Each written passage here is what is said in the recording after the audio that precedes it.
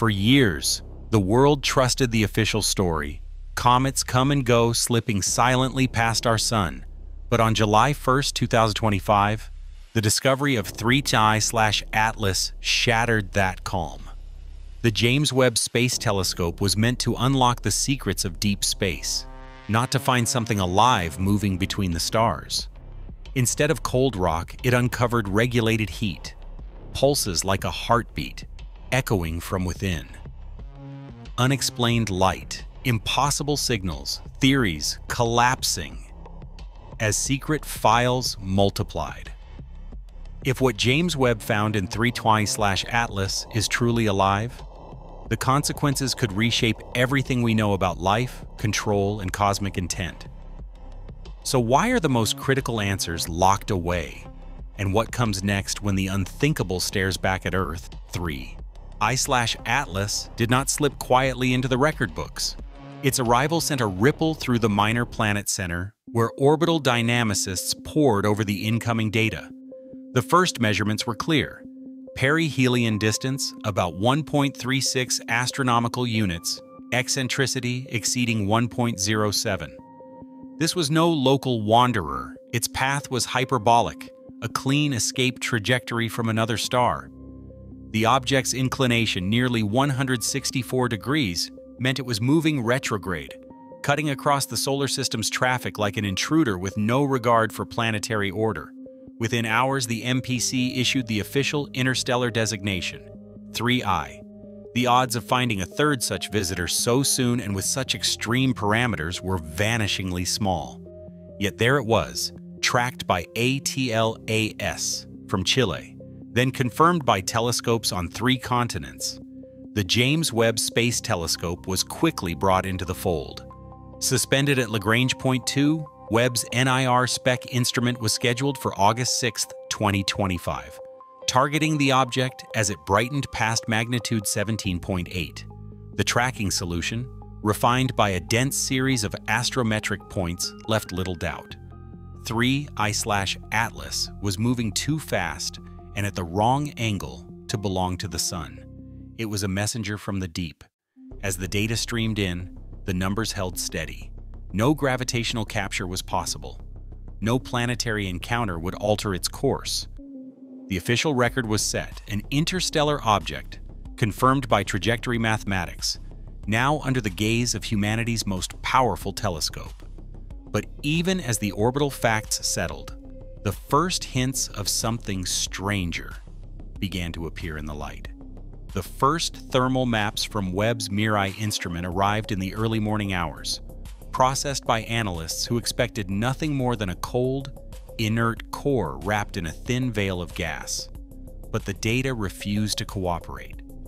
Instead of a random scatter of heat, the maps revealed a single, concentrated hotspot, steady, sun-independent, locked to a fixed position on the nucleus. Over a series of exposures, the intensity of this hotspot didn't simply fluctuate with the comet's rotation or solar distance. It cycled.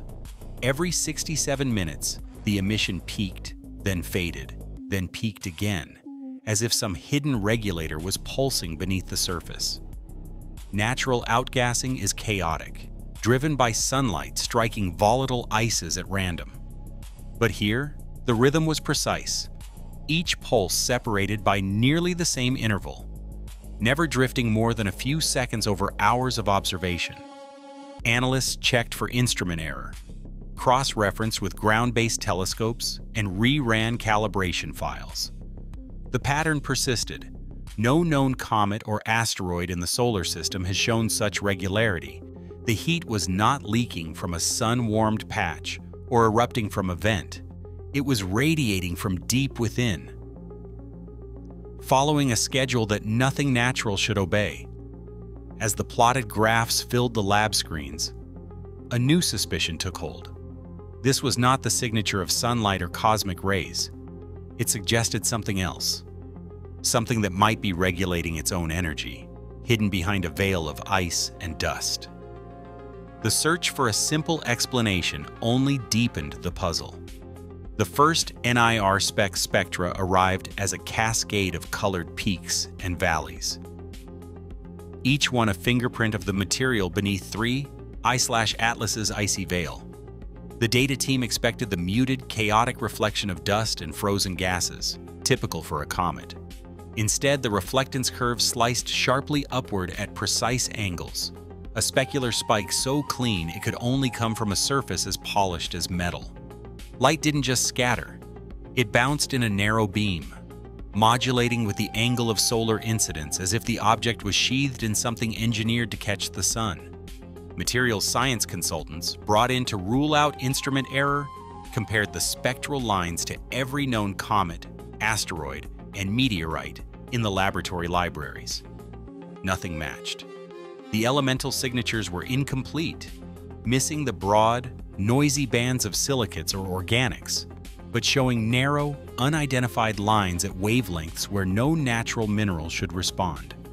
Even the best analogs, rare metallic inclusions in iron meteorites, failed to explain the intensity or purity of the reflection. One consultant described the surface as too perfect, too uniform, a phrase that echoed through the lab as the team replayed the data. The NIR spec plots repeated the same verdict. The object was not scattering sunlight like dust or ice. It was reflecting it, as if from a mirror, with a precision that defied comet models. And as the sun's angle shifted, so did faint, narrow band emissions, signals that flickered just above background, hinting at a hidden order beneath the chaos. Each new dataset tightened the circle, pushing the question from anomaly to artifact, from nature to something that might have been made. Encrypted message traffic spiked the moment 3i slash Atlas's narrowband emissions were cross-matched against the radio background. The initial radio scans meant to rule out interference instead revealed a triadic pulse structure, three sharp bursts, separated by exactly 19.3 seconds, repeating with machine precision.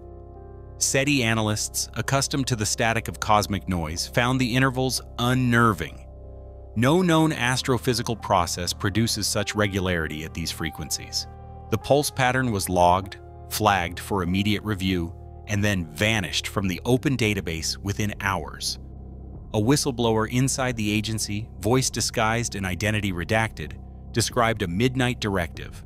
All raw signal data from the James Webb pipeline was to be routed into a newly created encrypted vault. The order carried a code, 47-X, never seen in standard data embargo protocols.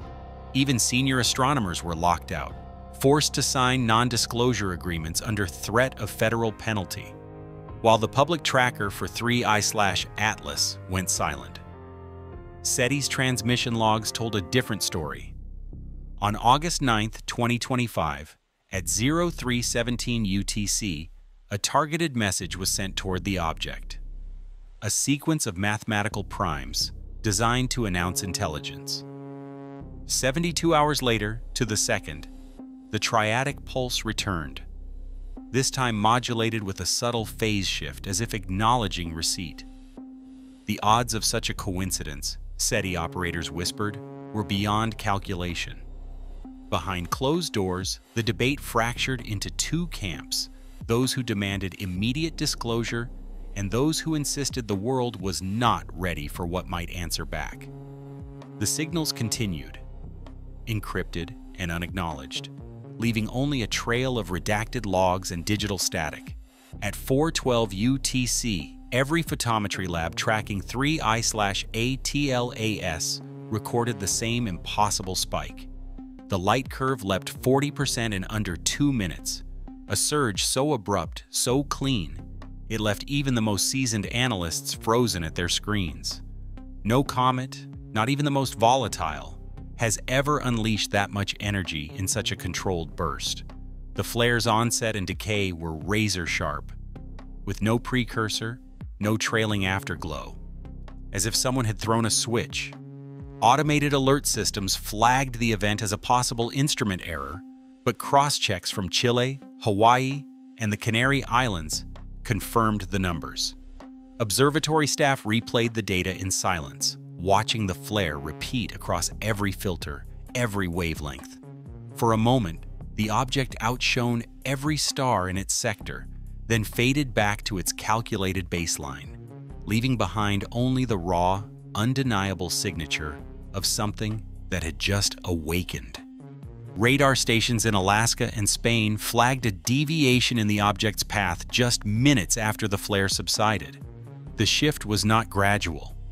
Orbital analysts measured a delta of 0.18 kilometers per second, enough to nudge 3I/Atlas off its projected escape and onto a new trajectory, one that would intersect Earth's orbital plane within weeks.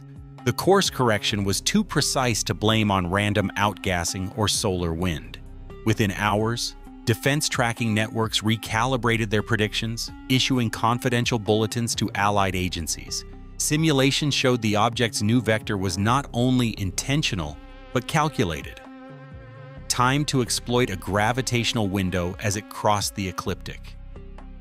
No natural comet, not even the most volatile, has ever demonstrated such controlled navigation. The data left a single, chilling conclusion. Something was steering it, and the world's early warning systems were now watching in silence. On July 1, 2025, the Atlas survey confirmed 3 I/Atlas as only the third interstellar object ever tracked in our solar system. Within weeks, James Webb's NIR SPEC and MIRI instruments detected heat pulses and a reflective surface unlike any known comet, documented in the official Minor Planet Center records and JWST instrument logs. Classified documents labeled Code 47-X showed that encrypted data and structured radio pulses were recorded, and a 2-minute 40% brightness flare was observed just before a deliberate trajectory change toward Earth. Yet major findings, such as the full spectral analysis and SETI's 72-hour signal timeline, remain locked in encrypted archives, with no release date announced. Today, scientists confirm that 3I/Atlas does not fit any natural model, but the intent behind its actions and who or what engineered it is still unknown.